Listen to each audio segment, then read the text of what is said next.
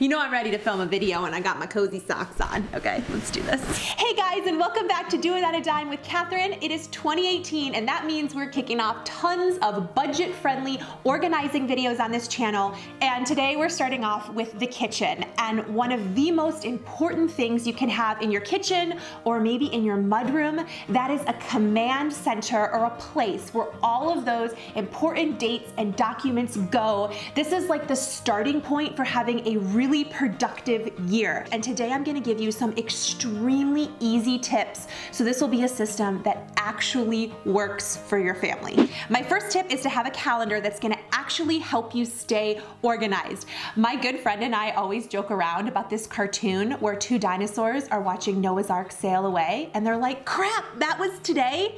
So that is totally me. If I do not write something down, I will totally compartmentalize it even if I'm working with a calendar. So having a calendar that shows the day and then divides up each section by person is an amazing way to stay organized and see what everybody has going on on that day. These can be really expensive. I have one on my blog. You can put the entire thing together for like four bucks. It's super easy. Just put a little hole punch in the top, connect it on the back with some dollar store tape, or even if you know how to make those little binder systems, you could do that too. Use a command hook, hang it up on your fridge. Use cardstock paper so it's nice and thick and easy to write on. This is such an easy way to stay organized on a tiny budget. And if it doesn't work for you, don't break it up by family member, break it up by personal time, your work time, maybe the meal plans that you wanna have that week. It's just such an easy visual way to see everything. And every time I talk to somebody who starts using this system, they stinking love it. So I'll make sure to leave that link down below if you wanna check it out and try something like this on your fridge. My next tip is to have a place for incoming paperwork. My favorite way to do this is a clear plastic organizer. I will find it and link it down below and have a place for all of those items that you're constantly accessing. Maybe it's recipes, maybe it's coupons.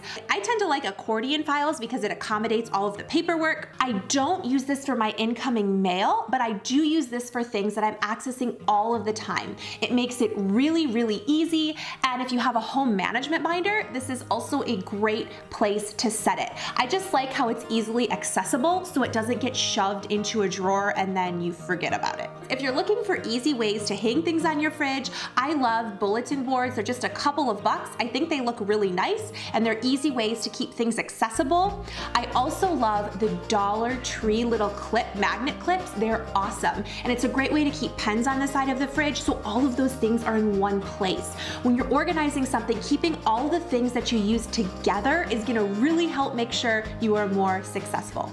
Another essential on our fridge is a dollar store magnetic notepad. This is where we add grocery things and anything we need to buy during the week as soon as we think about it, so it's organized in one place and easy to make our weekly list.